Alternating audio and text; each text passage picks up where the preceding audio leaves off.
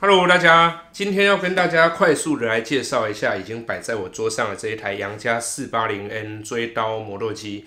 那这一台其实不是我自己购买的，即使我对它有非常高度的兴趣，但是以我现在的立场来说。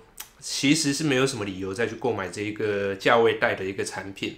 那至于我是跟谁借的呢？不是杨家原厂，我只是跟他一个经销商去借。那至于是哪一家吼，我们就不要讲出来，因为其实我对这一台有一点点的意见。那这些意见不代表说它不是好东西，只是我认为说它可以再做得更好，甚至我会觉得说他们在设计这个产品的时候。有那么一点点的不用心，那这一些细节我们会在下一次的比较深入的影片里面去介绍到。我们今天就直接来跟大家讲一下它快速的一些呃规格。我们先看到它的长宽高哈，高度是四十一公分，然后呃深度的话，我们一般都是量它的最最大的范围是二十一公分。那这个宽度是十九哦，它官方给的一个。数据啊，其实是错的。它官方给的是三十乘以十九乘以四十一，四十一是个高，那三十我就不知道在哪里，所以我刚刚有自己量过一次，就是这边是二十一，这边是十九，哦，摆放的时候其实蛮轻巧的。那外观的话呢，其实。不是现在主流的一个好看的外观，那这边是使用塑胶的，底下是金属烤漆，然后烤漆就是非常标准的杨家烤漆吼，亮面烤漆，然后标准的杨家的机器的颜色就是黑色、红色、金色三个色系，可是我不知道它实际到底推出了哪一些色系啦。好，那它有搭载了四十八的锥形刀盘镀钛，不锈钢镀钛，那大概就是比我们现在的。中阶手摇磨豆机再稍微大那么一点点，那实际上我认为它的研磨表现算是不错的。那这一台它标榜的是慢转速研磨，慢转速研磨呢，通常是主打着一个能够带来更少的细粉，那保留更多的香味，因为研磨的时候不会有过多的热能。那豆槽的部分，它是使用两百五十公克容量的豆槽，但是其实它标榜的应该算是单份研磨啦，所以。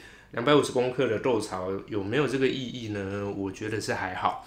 那讲到豆槽哦，我先直接跟大家剧透一个我对它的意见，就是它的豆槽并不是有挡板的豆槽哦，也就是说你直接每一次把咖啡豆倒进去，你都会先接触到它的刀盘，然后才去开启它的呃电源。这样子的话，其实。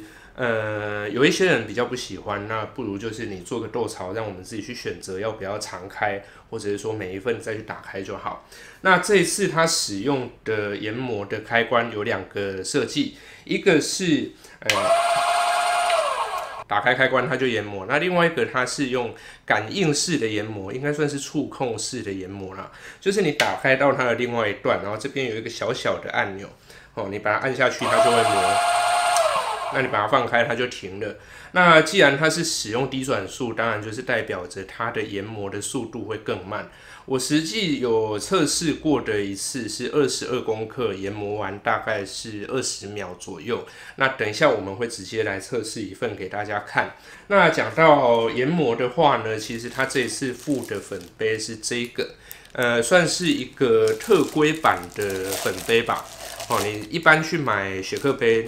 应该不是这个规格才对，但是因为借给我的厂商呢，虽然说他是借展示机给我，可是这个他看起来是没有用过，我们就不用这一个了。如果你自己有购买其他的接粉杯，比如说像是小飞马可以用的啊，小富士可以用的，一般来说都是可以相容的。好，我们直接把它推到这里，那落粉口这边下来就好。比较特殊的是，它有做一个弹片。哦，现在都很流行弹片，对不对？可是这一台其实并不是，呃，最近才出的。这一台其实出很久了。它在还没有电检通过、还没有上市的时候，我那一次到杨家的工厂去买一些烘豆机的备品的时候，就有看到。只是那个时候他们也还没有发表啊，所以也不方便问太多。那从那个时候开始，我对它的兴趣就一直很高，因为最简单的一件事就是它便宜。它的官方售价是九千五百块，然后搭载镀钛的锥刀。其实我是非常有兴趣的，只是后来不知道为什么，就是一直都没有买它或者是使用它。那它这台呢，大概上市的时间一年多或是两年多吧，我我实际真的没有办法确定。可是我发现它的市占率很低，只有在我上个月去彰化的时候，在有一间咖啡店有看过他们摆一台，但是实际上我也没看到他在使用。就这么一次，让我在民间看到有店家摆的这台磨豆机。好，那这个弹片呢，其实是在利用这样子去敲击这一块金属片，然后把上面的一些细粉给震落。那实际上这个弹片的使用的时机，我们下一个影片一样会来跟大家做介绍。我们现在就直接最直接的来磨一份给大家看看。那先跟大家讲，这一台的声音有一点大，而且有一点诡异哦，给大家先听一下空转的声音。对，怪怪的哈。但是就是习惯了那种超静音技术的 Eureka 的磨豆机之后，对我来说这个算是有有一点不太能适应啊。那我们现在就把它二十公克的咖啡豆直接倒进去。这个是使用上次我们跟大家开箱的博朗咖啡的瓜地马拉那一个咖啡豆，哦，算是烘的比较深一点点的，直接倒进去。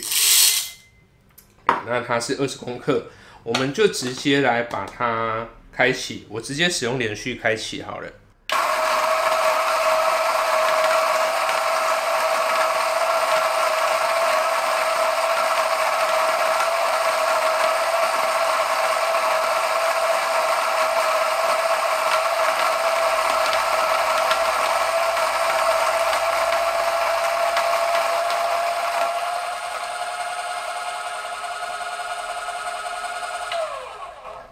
好，实际的研磨时间当然是比我们习惯的一些大型的营业用的呃磨豆机还要来得长啦。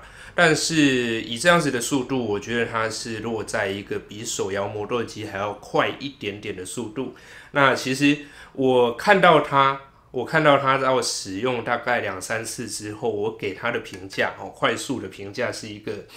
哎，我认为它是一台电动的手摇磨豆机，哎，因为它这里没有挡片嘛，那我们的手摇磨豆机也是豆子进去就直接接触刀盘，那再加上它的研磨速度，其实以我的习惯来说，它算是有一点慢的，加上是追刀又是镀钛，所以我给它的第一个评价就是，呃，手摇磨豆机的电动版。哦，那官方的售价就是九千五百块啦，大概也是一只呃中高阶的锁阳磨豆机的价格吧。哦，那这次其实就是先跟大家讲一下这些东西。那实际上，呃，更多更复杂的东西，还有对于它的评论，我们会在下一个影片，我在熟悉它一阵子之后来跟大家讲。那顺带讲一下。刚刚研磨的刻度是手冲的刻度，虽然说有比一般我自己习惯的刻度还要细一点点，但是就大概是落在手冲的刻度里面了。好，那今天的这个简单的介绍大概是这边，然后跟大家稍微分享一下它的一些呃外观，还有它的规格而已。那实际上的评论影片，我们会在我使用的多天一点之后再来跟大家讲。好，那今天影片就先到这边，我们下次再见，拜拜。